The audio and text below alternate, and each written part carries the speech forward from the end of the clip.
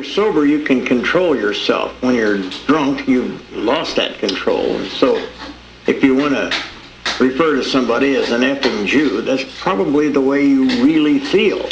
Well, yeah.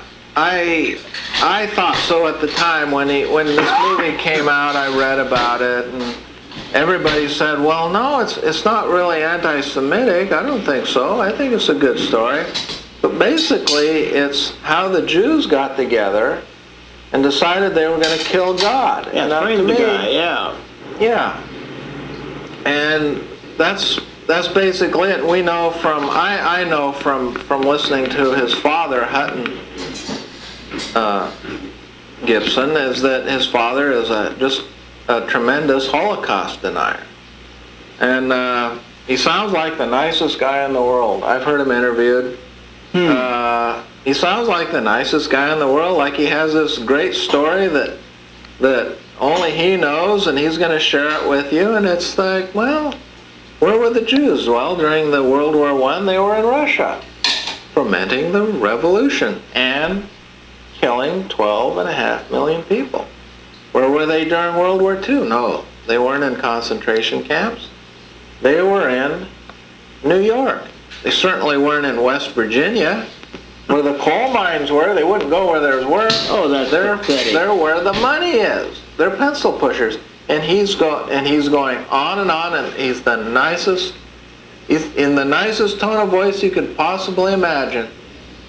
And he's and he doesn't know that he's talking to a, a Jewish writer from a from a Jewish magazine that was sent to interview him, and uh, he just so you know he's just so happy to find someone that that he can share this wonderful news He with. just believes everything he Yeah, says. and huh? he, the guy, oh, oh, oh, they were, oh, they were in New York. They weren't in concentration camps. Oh, no, no, no, they were, that's where the money is. Uh, and this is the guy that raised Mel Gibson. This is the guy that, that, of course, every guy has to love his father, you know, unless he's a total, uh, total wreck yeah. you know, a total That's true. wherewithal. I, you know, I love my dad, but when I think back, I, eh, I'm a little disappointed about some of the things he did. I guess I had a little selective memory about him, and things come rushing back, and well, Well, every boy I feel a little bit different about him now. Yeah. That but let me tell you, Tim, every boy is in competition with his dad. Starts when he's quite young, he's in competition with his dad over the love of his mother. That's a big thing. That's Freudian psychiatry, you Yeah. know?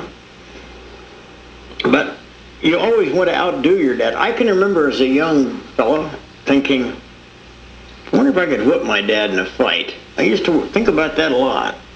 was afraid to pop him one, but I thought about it. It was a it was a thought that was in my mind very much when I was probably what 10, 12, 14 years old, someplace in there.